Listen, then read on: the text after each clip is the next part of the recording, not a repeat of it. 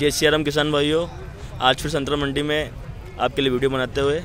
बाज़ार प्लस होते जा रहे हैं जैसे आज संतरा में पच्चीस रुपये किलो तक में ऊपर में ढेर बिक रहे हैं। ढेर तो आपको बता ही देंगे उससे पहले आप सबको राम राम आशा है आप सब स्वस्थ मंगल होंगे आपके परिवार में सब आनंद मंगल होगा।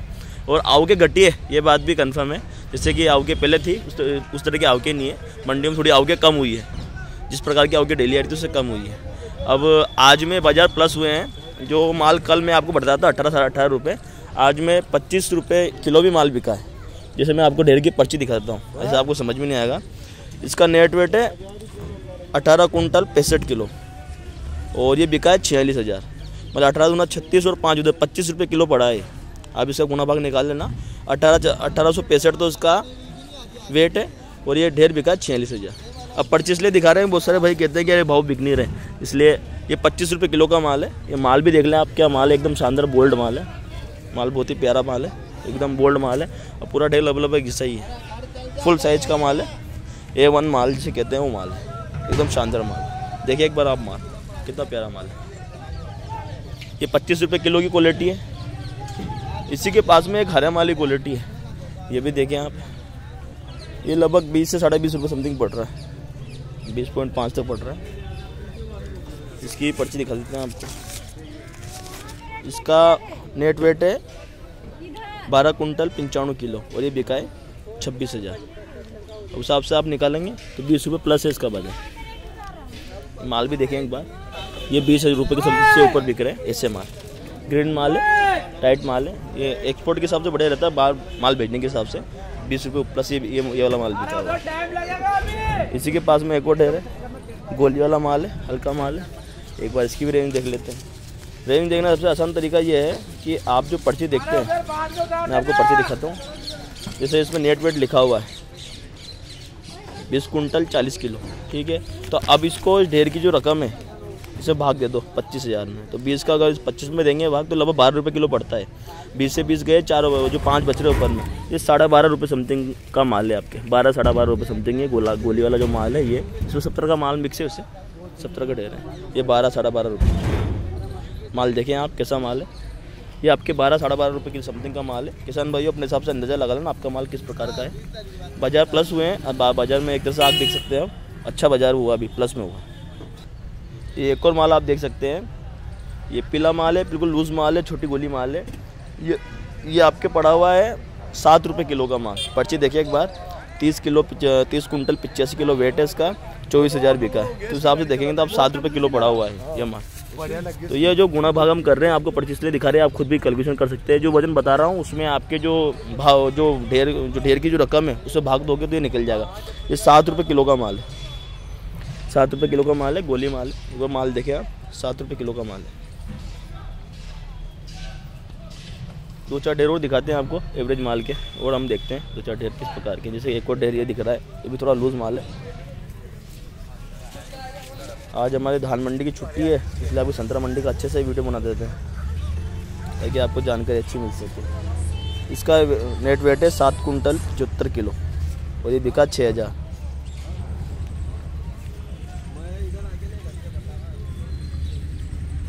ये आठ साढ़े आठ रुपये समथिंग बन रहा है साथ ही आठ छप्पन बनते हैं, सब चार एक रुपये ऊपर है। तो ये आठ रुपये समथिंग का माल है, आठ रुपये किलो का माल है। आपको वज़न बता ही रहा हूँ वज़न में अगर आप उसके रकम का भाग देंगे तो आपका किलो का भाव निकल जाएगा। ये आठ रुपये समथिंग का माल है। एक अंदाजन होता है, कुछ पॉइंट पैसे ऊपर नीचे हो सकते हैं, एक अंदाज़ा लगा रहे हैं हिसाब से। बाकी आप कैलकुलेशन करेंगे तो आठ साढ़े आठ रुपये समथिंग का एवरेज पड़ेगा ये। आठ रुपये किलो का माल है, माल देख लें एक बार। आपकी माल की कैलकुलेशन आप अपने हिसाब से कर लें। जितना पिजाओ लूज़ माल होगा, उतनी कम रेट बिकेगा। इस बात का थोड़ा ध्यान रखें। उस हिसाब से माल बिकता है। और एक दो ढेर देख लेते हैं हम। ये एक और माल पास में बिका हुआ है। ये व्यापारी ढेर है, जिन पे पुस्तले लगे हुए रहते हैं ना। ये व्यापारी ढेर रहता है अधिकतर। ये अट्ठाईस हज़ार बिका है। और इसका वेट है उन्नीस कुंटल तीस किलो। और ये बिका अट्ठाईस। तो उन्नीस से उसके बाद में, उन्नीस के बाद में बिके नौ। नौ और बच गए, साढ़े चार। मतलब साढ़े चौदह रुपये किलो समथिंग ये पड़ा है। साढ़े चौदह मतलब लगभग पंद्रह रुपये पकड़ सकते हैं आप इस माल का। इस माल में सब तरह का माल है, थोड़ा लूज़ माल भी मिक्स है इसमें, इस प्रकार का। इसलिए थोड़ा, और नीचे में थोड़ा गोली वाला माल भी है इसमें डायरेक्ट नीचे देखेंगे तो उसका कारण होगा। आपको इसके बाज़ार बता ही दिए। एक मस्सी वाला जो माल होता है, जिसमें कहीं कहीं थोड़ा बहुत मार्क है से इन पर मार के बहुत सारे नारंगी मार को लगे हुए हैं, ऐसा माल भी किसान भाइयों का होगा। इसलिए इसकी भी जानकारी आपको देते हैं कि किस रेट बिका। बहुत सारे भाई बाद में फ़ोन करते हैं, कहते हैं कि साहब यार भाव इतने नहीं होंगे, इसलिए अब पर्ची बताना आप शुरू कर रहे हैं आपको। ये वेट देखिए, आप सोलह कुंटल पंद्रह किलो है और बारह पाँच सौ बिका अब इस हिसाब से देखेंगे तो इसमें भी आठ रुपये किलो समथिंग का माल है, ये मस्सी वाला जो माल है, जिसपे मार के थोड़ा मुझे इसकी जानकारी कम है। मस्सी कहते हैं, क्या कहते हैं, इनमें दाग लगे हुए हैं इस प्रकार के। इस तरह के दाग लगे हुए पूरी नारंगियों पर लेकिन फिर भी इसमें कमी तो है, साढ़े आठ रुपये समथिंग ही बिक रहा है ये माल। माल भी सब तरह का मिक्स है, छोटी गोलियाँ भी नीचे में। हल्का माल है, छोटे माल भी मिक्स में, बिल्कुल छोटा दाना। एक वाली छोटा वाला माल है, ये भी देख लें आप। इसमें भी वो, जो निशान वाला जो मार, माल था, जिसमें काली मस्सी या कुछ कहते हैं, जानकारी में थोड़ी कमी है मेरे इसकी एक बार थोड़ी उसकी जानकारी लेंगे।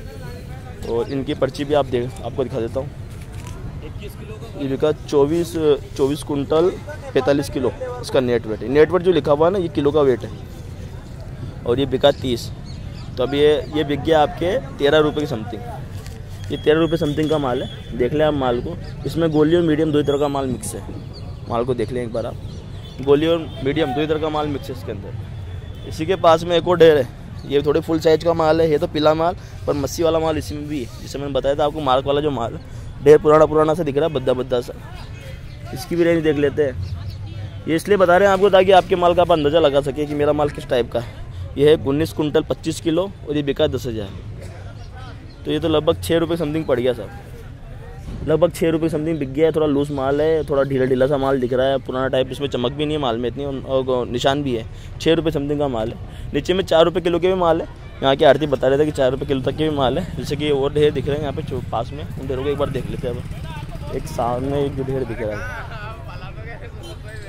इस ढेर को देखते हैं। बिल्कुल हल्का माल है।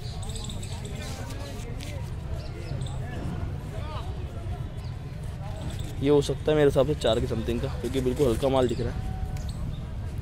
आठ सौ पैंतीस।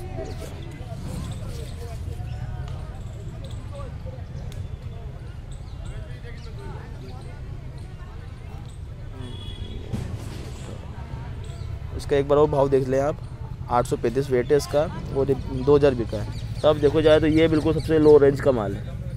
कैलकुलेशन थोड़ा आप भी करें और मुझे कमेंट सेक्शन बताएँ इसका क्या भाव है। आठ सौ पैंतीस तो इसका वेट है और दो हज़ार इस पूरे ढेर की रेट है। अब हिसाब से अगर आप भाग देंगे तो आपको पता चल जाएगा इसकी रेंज क्या है। जो निकलेगा, वो उसकी रेंज है। एक और पास है, बिल्कुल छोटा माल है, इस साइज़ का। इसमें पर्ची नहीं है साइड तक। पर्ची नहीं है इसे बिका नहीं होगा ये। ये बिका ही नहीं ढेर। ये छोटे, हल्के माल भी है। ठीक है, किसान भाइयों आज मैं फिर आपको पूरी जानकारी देते हैं सारे वीडियो बनाते हुए, आज मैं वीडियो लंबा बनाया है क्योंकि आज धान मंडी की छुट्टी फ्री थे तो पूरा फोकस आज संतर मंडी में दिया है, आपको पूरी जानकारी मिली इसलिए। आप सभी से निवेदन है, चैनल को लाइक करें सब्सक्राइब करें शेयर करें और आपके अपने YouTube channel B W M today भाव को पूरा पूरा समर्थन दे और जितना हो सके इतना शेयर करें, ताकि हमारा भी मनोबल बढ़े, हम आप लोगों के लिए इतनी मेहनत कर। रहे हैं दिन रात जब समय मिलता तब निकलते हैं मेहनत करते हैं। कभी जब कभी भविष्य में जब हम वीडियो बनाकर डालेंगे, हम किस तरह की मेहनत करते हैं आप खुद लोग भी विचार करेंगे कि हमें कितनी मेहनत करनी पड़ती है वीडियो बनाने के लिए। घर के सारे काम दाए बाई करके, अपने काम को दाए बाई करना पड़ता है और पाँच से दस, पंद्रह मिनट अलग से निकालने पड़ते हैं और एक्स्ट्रा दिमाग लगाना पड़ता है इन चीज़ों के लिए। तो आप सभी से निवेदन है, अपने भाई को जितना हो सके उतना सपोर्ट करें और शेयर करें। जितने हमारे लाइक सब्सक्राइब बढ़ेंगे बढ़ेंगे कमेंट जितने आप लोगों के आएँगे, जितना लोग आप प्यार देंगे, उतना हमारा मनोबल बढ़ेगा और हम इस काम को थोड़ा और बढ़ाएँगे। संतरा मंडी के अलावा हम जैसे छुट्टियों के दिन जो हमारे संडे या कुछ छुट्टी आती है, उस दिन, उस समय में किसानों के खेतों में जाएँगे, वहाँ पे उन्नत खेती किस प्रकार से होती है, उसकी जानकारी देंगे और जितना हमारा अपना विस्तार कर सकते हैं, उतना विस्तार करेंगे आप लोगों की सुविधा के लिए, क्योंकि हम भी किसान के बेटे हमें पता है किसानों कितनी मेहनत से कमाना पड़ता है। ठीक है भाइयों, जय श्री राम। अपने भाई पे सदैव अपना प्रेम और आशीर्वाद बना कर जय सिया राम